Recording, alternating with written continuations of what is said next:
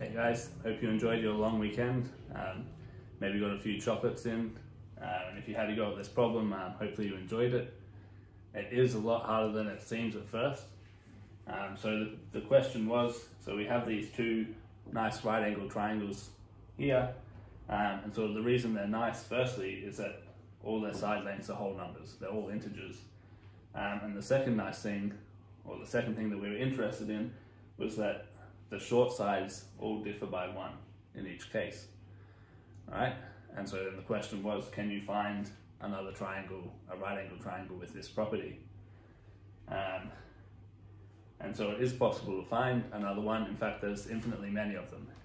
Uh, but I think sort of the next one up, the next easiest one to find um, is this one.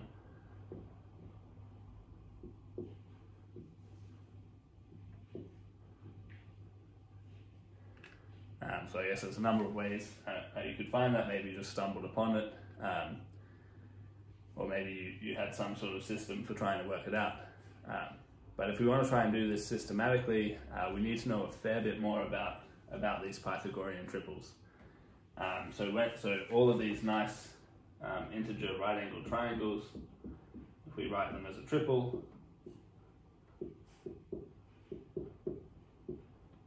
these triples are called Pythagorean triples.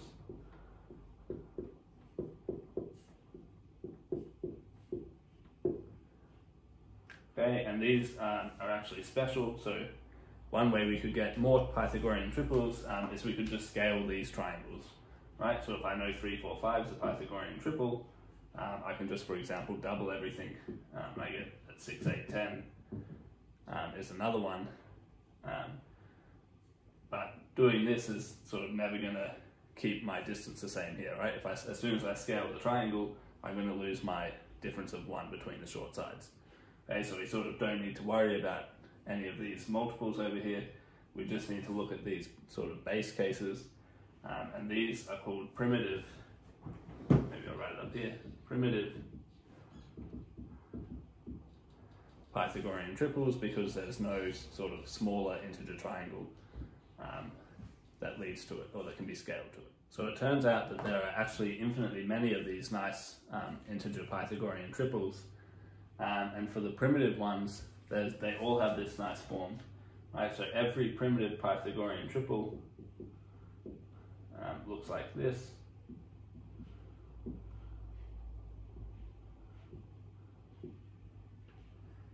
Okay, where m and n are some integers, so pick m and n to be um, and integer, whatever integers you want to be, as long as this thing here is positive, uh, that will give you a Pythagorean triple, and every Pythagorean triple can be found in this way. So every primitive Pythagorean triple can be found in this way.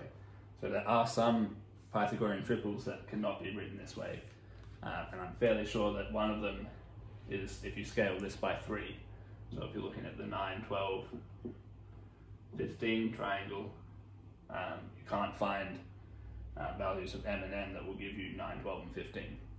Okay, but every primitive one can be written in this way. And so now that means if we go back to our problem, what we want is we want a primitive Pythagorean triple um, where these two sides, these short sides, differ by 1. Okay, which means that we need m squared minus n squared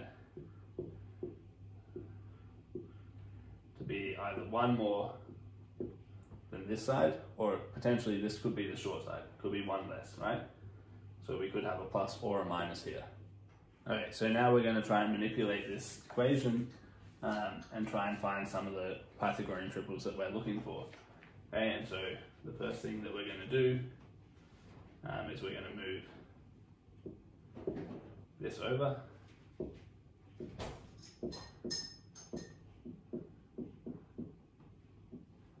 Okay, and maybe you sort of recognize this is sort of almost a, a, nice perfect square, except there's a minus there, and we'd like it to be a plus.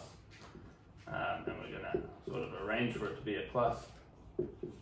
So if we write plus n squared, um, then we need to subtract 2n squared to, to sort of end up back there at the minus. Um, and now this is the nice perfect square. So this is n minus n all squared. minus 2n squared, and we want that to be either plus or minus 1. Okay, uh, and so maybe you'll kind of recognize that the sort of the form we have this equation in is now this form, so we have something squared minus 2 times something squared equaling plus or minus 1. Um, and this is actually a very famous equation, it's called Pell's equation. And um, it's sort of uh, well, at least well known how to how to get integer solutions to it. Um, so I won't go through all the details. Um, I'll go through a little bit about how we can get the integer solutions and how that leads to infinitely many of these triangles. All right. So the integer solutions to this equation, so like the whole number solutions, um, it turns out are, are, intimately linked to the square root of two. Um, I'm not going to go through all the details, uh, but I will show you sort of a, an, a way to get them. Um, and that is to look at what's called the continued fraction expansion of the square root of 2. So we can write the square root of 2 um, in this sort of weird way, which maybe you haven't seen before, but we just kind of keep making this fraction larger and larger. So this keeps going on indefinitely. And what we're saying here is that if you continue this to infinity, you will get the square root of 2. Um, and so how does that help us get solutions up here? Well, it turns out that if you stop at any point, um, the fraction that you get will give you solutions to this equation. Um, so for example, the first, if we stop here at this first one, we have that 1, if we write it as a fraction, is 1 over 1. Um, and you'll note that 1 squared minus 2 times 1 squared is equal to minus 1. Okay, so if we make this one and this one, we get a solution here for the minus part. So the next easiest place we can stop this um, is here. So if we stop the fraction here, we have now 1 plus 1 over 2, a which is 1 and a half, so that's 3 over 2. And we have that um, 3 squared minus 2 times 2 squared is equal to 1, right? We have 9 minus 8, which is 1. So I won't go all the way through the next one, but if you stop it at this sec at this second one here, um, we get this fraction, okay, which turns out to be um, 7 over 5. Okay, and that tells us that 7 squared minus 2 times 5 squared, that's minus 1. Okay, so that's 49 minus 50, giving us minus 1 there. Um, and so the other thing that you'll notice is that um, we're going to swap between the positive and negative solution. But that won't matter for what we're doing over here. Okay, so how do these solutions that we've got here um, relate to the triangles that we want? Well, we know that um, this m and n is supposed to give us our primitive Pythagorean triples, right? So what this is telling us, here we have the solution 1, 1, which was the first one we looked at, um, so in order to make this equation look like this, we need n to equal 1, and we need n minus n to equal 1 as well. Okay, and so if n is 1, that means that n minus 1 is 1, and so n should be 2. Okay, and if you plug those into our, our, our Pythagorean triangle, uh, remember this side was n squared minus n squared, okay, which in this case is going to be 4 minus 1, which is 3. Um, this side was 2 times m times n. A, which is now going to be 2 times 2 times 1, which is 4. Um, and this side was m squared plus n squared, A, which is going to be 5. Right, so you get 4 plus 1 here. Um, and that's our 3, 4, 5 triangle up here. So this solution of Pell's equation gives us this triangle. Um, you can go through the same process. You'll find that the 3 and the 2 here, this solution leads to that triangle. Um, and this third solution that we got leads to this triangle, okay, which gives us a systematic way of finding it to start with. Um, And because we can continue finding infinitely many solutions to this equation, um, we could continue this process as far as we want and get more and more of these right angle triangles. There's one other way that we can generate these um, these nice triangles that where the short sides differ by one, um, which I wanted to talk about because it's quite sort of amazing that this can happen.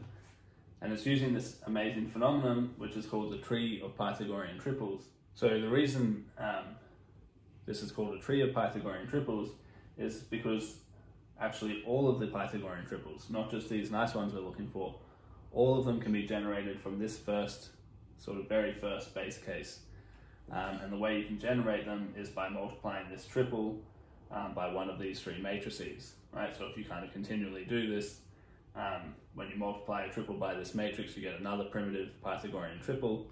Um, and in fact, you can get all of them in this way. Um, and so I'll give you one example. So if you don't know about matrices, uh, this obviously won't make much sense. But if we take this, so if we take B and multiply it by this triple, 3, 4, 5,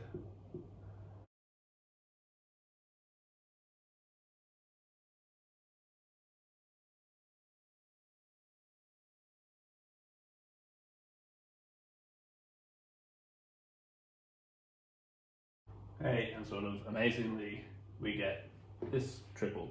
Right, we have 20, 21, 29. And so if we multiply this by b again, we're going to get this one. And so if we want all these triangles where the short sides differ by one, we can just keep multiplying by this matrix B over and over again, and that will give us all of them, well, the infinite, infinitely many of them that there are. Um, so that's a pretty um, amazing thing to have happen.